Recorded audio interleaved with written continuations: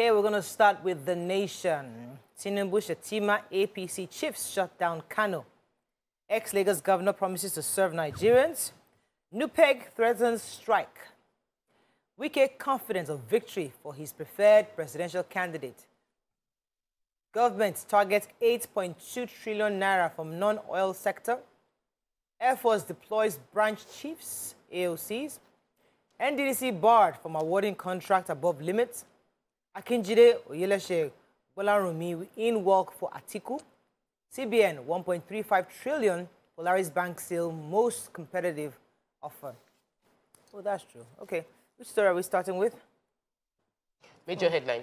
So, um, yesterday it was a carnival in Kano State as people trooped out. So it, it was like, um, the, the, I, I love the way the nation put it. It said supporters trooped to the ancient city like pilgrims. And the pictures, the videos, they said that people everywhere you could turn, there were people all around Kano. The campaign, that's the presidential campaign for um, APC, Asiwaju Bola Tinubu, as well as his um, um, flag, his running mates, were both at the um, Aminu, let me get the Kano, at the Stadium? Aminu Kano Stadium. They also mentioned many other state governors were also there. A lot of big wig politicians were there. And the average Nigerian within the area, the Keke Napep artisans, riders, different support groups, all of them showed up to support the candidacy of the APC, um, the APC presidential candidates in Kano. They said there was traffic, but it looked, it looked like it was okay. well attended. Mm. Yeah, the um, governor of Rivers State, Nyesom Wike, yesterday at the flag off of the construction of a road, Akpabu Egbed, Egbeda Omoku Road. I'm so sorry. It says Egbeda, and I'm wondering, is it the same Egbeda? But of course, this is in Rivers State.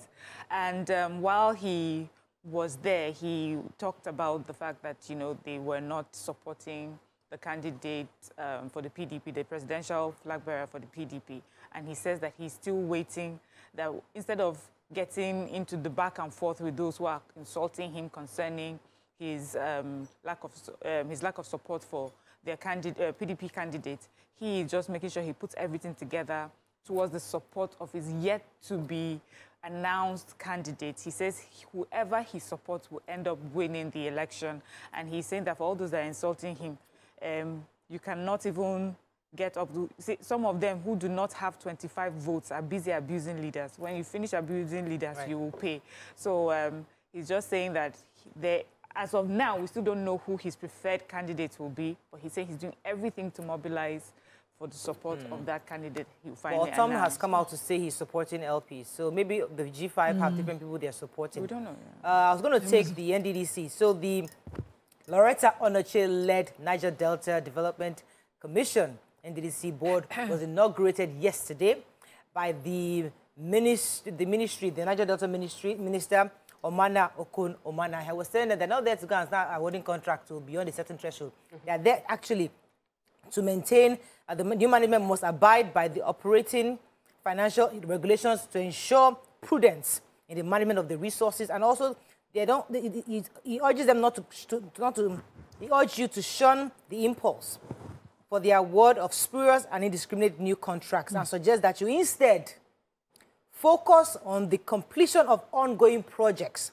And even if they're going to award at all, it can't award a certain person a certain threshold. Mm. So I'm happy that NDDC board has been finally inaugurated, and hopefully, I know a lot of eyes will be on NDC now, but um, we'll see how that plays out as the as the months come along. So, uh, Madam of the Federal Ministry of Finance have um, done the breakdown of how we're financing our budget, and I'm happy that we are doing well with our non-oil uh, non sector. She's projecting 78% of the finances to come from non, the non-oil sector, which amounts to about 8.2 trillion for the total revenue that they are estimating.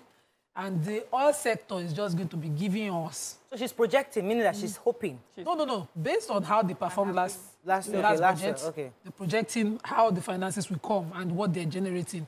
So the revenues that will come from mainly from the non-oil sector covers over 78% of the budget. great. What do you mean? That's- That Then- informed projections. So I Yes. hope that um, then the 2.2 trillion, which is supposed to come from no, from oil sector, Yeah. that's what they're planning. So oil sector used to be our dominant uh, contributor, but because of the subsidy we are paying, which she is already saying that we need about 3.3 trillion. We're still paying for subsidy. This for just six months into next year to pay for subsidy. So that also is been budgeted for. All right. And then the balance of 11.3 trillion, uh, 34 trillion will be gained from uh, collected from borrowing again.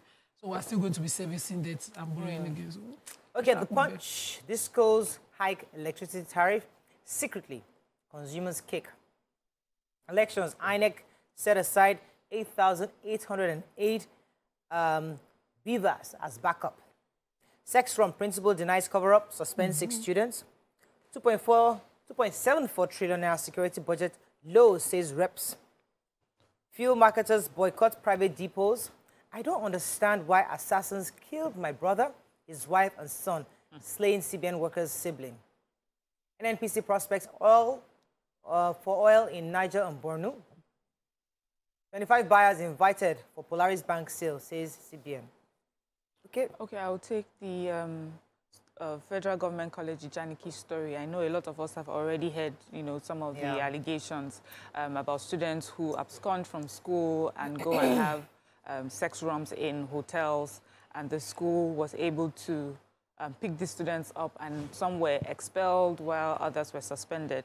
But the school is speaking up and denying some of the um, allegations. He says, first of all, um, the school, because it was alleged that the school was trying to cover up this, this thing that happened, and the school is saying that there was never a cover up. After all, they're the ones that informed parents about it, and so um, the parents were being, you know, mischievous by making by by suggesting that the school was trying to hide it. After all, they were the ones that found these children.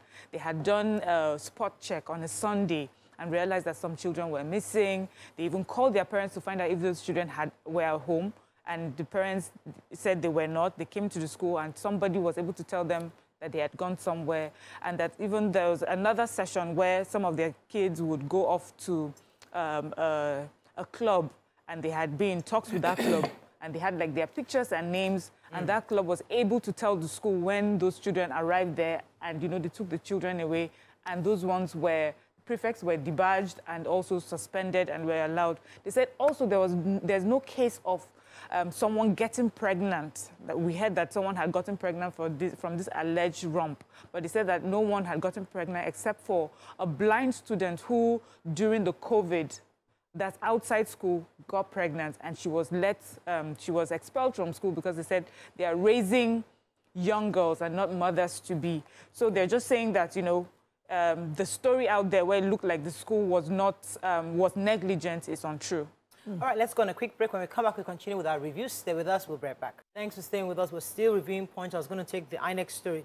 You want to take a story? Let me take the INEC story. So INEC was informing Nigerians that they have received the last batch of the BVAS machines. If you recall, BVAS is going to be the machine, the bimodal voters accreditation scheme um, um, system machine that will be deployed nationwide for voting. So according to them, they have about 176,846 polling units across the country. But this additional 8,900, uh, 8,809 will be deployed to the registered areas as backups. So for example, if, if anything, if any BVAS malfunctions, there'll be two per region or per, per registration area as a backup to give to any polling unit that's having um, machine malfunction. So they received that yesterday, and they're happy. And they, according to them, they've also established um, um, units at the airports, four-year airports in Abuja, Port Harcourt, Lagos, and um, Kano. And according to them, they have airport hubs. So they, that's where these BVAS will be delivered to, and then further transferred to other other states um, as, as required. So I want to take the major headline in this cause. So this Punch report has caught up with, um, you know, how service and tariff hikes have happened. According to the report, quietly, silently but surely, Discos have increased their tariffs per unit on the prepaid meters, and I have an experience on the estimated bills. And they took an inventory from Abuja Disco, all the discos around. In Lagos, for instance, um, a, a user said that 72 it has, is now 72.2 naira per unit as opposed to the 66 0.66 naira per unit. And NERC did not announce any increase, but the Discos just silently continued to increase amidst poor services. That's the one that is paining me. And, and what, what I experienced, I have a business place that is on the estimated bill for now. I'm trying to get a prepaid meter for it. And I used to pay like initially 6,000 because whether power comes or not, it's mostly on gen. All the machines I use are on generator on fuel. And they suddenly increased it to 15,000 a month. And that month, there was really, really no light. So we're looking to invest in solar now immediately to remove ourselves yeah. from these services. You cannot continue to do things like this. I hope the NERC reads this report across board, all the accounts of people, fact check it and do something about it. Okay, moving on to Daily Sun. Nigeria's debt may hit 77 trillion naira by May 2019. May May 29, 2023. Nnamdi Kanu's family cries out, expresses concern over his continuous detention. 2023 budget, 3.36 trillion naira earmarked for fuel subsidy raises dust. Ngige tackles Obasanjo for criticizing Buhari in letter to Nigerians. Assets declaration, court bars DSS, police, CCB from probing INEC chair. PDP leaders intensified moves to pacify G5 governors. 1999 Constitution would guarantee emergence of credible leaders, says Afe Babalola. And Enugu's oil producing status, my biggest joy is that my successor will excel, says Ugwuanyi. Okay, which story are we starting with in Daily Sun? Let me take the fact that our fuel scarcity challenges might be worsening. Mm. So the petrol, petrol tankers, tanker drivers, um, as branch of the NUPENG has said they've threatened that they are going to go on strike. And the reason for their strike is because they allege that security agencies have been, um, have been, uh, they've been brutal to their members. And they mentioned the names of the people, that the only condition they will not go on strike if, is if commensurate compensation is paid to their affected members. These are people that they felt that the drivers of two truck that were polite in offering necessary documents to officers who stopped them to ask them for documents. Later, were now found to, um, they said there was squabble between the police officers as well as the Nupeng, um, PTDA Nupeng, PTD Nupeng members that led to one person being killed and the truck was burnt down.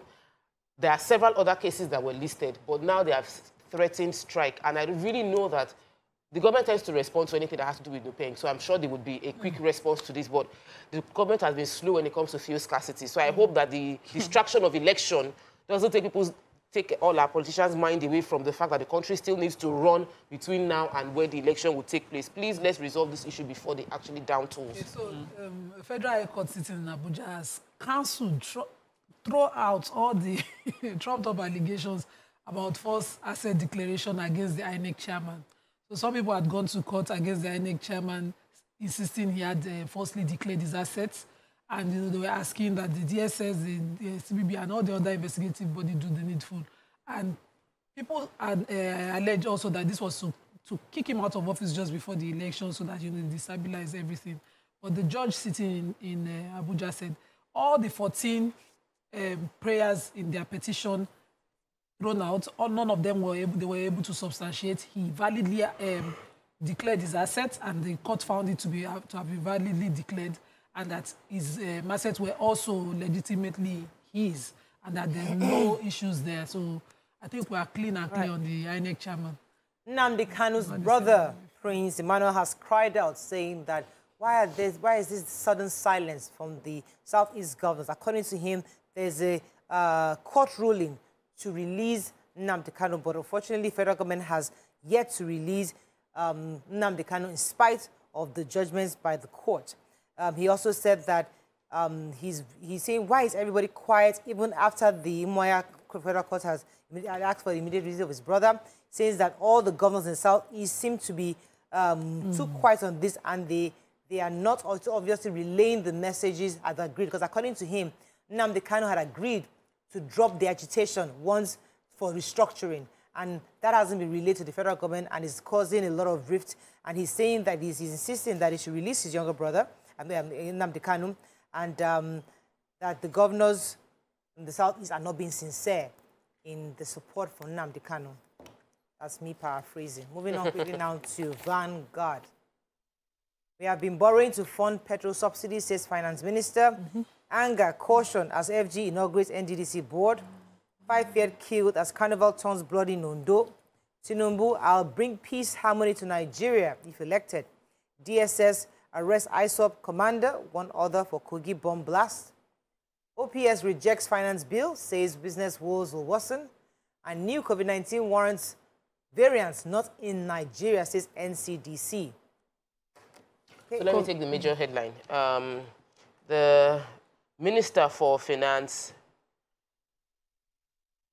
Mrs. Zainab Ahmed said yesterday that the federal government has been borrowing to fund um, the subsidy. She mentioned that it is not sustainable, that the subsidy regime has been extended, was extended for 18 months. It will end by July this June, extended till middle of 2023 based on that extension that it was given, and that was um, 3.36 trillion was provided for the petrol subsidy and after then, he will probably have to go, according to her, because it is not sustainable to continue like this. I just really wish that the president kept to his um, statement that they were going to remove petrol subsidy, but now they are pushing it to whoever becomes the, the, next president. The, the, next president will have to deal with the backlash that will come from this. But mm. let's just let's manage as we're doing. Yeah, NCDC, um, that's our Nigeria Center for Disease Control, is saying that um, COVID-19 Omicron and its sub-lineages are partly responsible for the current increase in cases in China, the UK, and the US. And it said that they're monitoring, they're seriously monitoring, um, you know, cases, and they haven't seen any of those particular variants in Nigeria as of yet. And they also mentioned that those restrictions, those travel restrictions that um, were placed before request for PCR negative tests, you know, for incoming travelers, that those ones had little or no effect on preventing global and national circulation of Omicron because it had a very short incubation period. But that their eyes, you know, they're, they're working on the surveillance and as, and as of the time of this report, we ha they haven't detected anything yet. Mm. I know some other countries are beginning to wear their face masks mm. again. Maybe we should just start doing that and just than to just say that you know it would not work. Those restrictions. I think we should still put those restrictions and then go back to wearing our face masks. Thank you, Minister. Thank you. I'm Nigerian. Nigerian Tribune. Uh, presidential candidates, local peculiarities to affect G5 governors' choices. 20 rice farmers feared dead in Kebbi boat accident. How a medical doctor was killed while attending to patients in Delta State. Nobody took that story. Mm -hmm. uh, 1999 Constitution won't guarantee emergence of credible leaders, says Afe Babalola. New Finance Bill, National Assembly approves three-year imprisonment, 10 million naira fine on corrupt public officers. And Nigeria's debt may hit 77 trillion naira, says DMO. All right, I was going to so I want to take the rice farmers okay. on their way from, um, the, according to the DS, uh, DSC, DSP, Nafiu Abubakar, who is the spokesperson in uh, police spokesperson in Kebbi, confirmed that you know, the accident of a boat that capsized with 100, 100 passengers inside.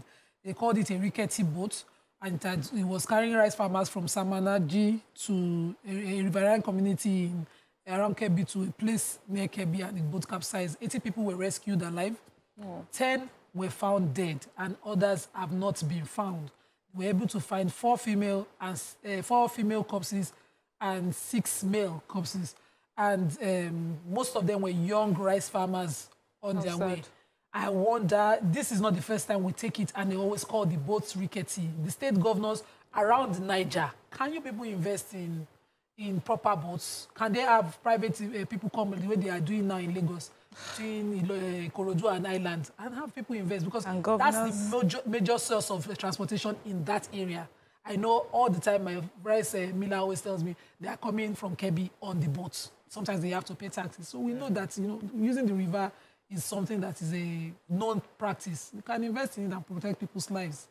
okay, so the National Assembly has finally approved um, three years imprisonment and 10 million naira fine for any public officer who is in discharge of his, in the discharge of his or her duties, awards or signs any contract without budget provision administrative approvals, and procurement plan.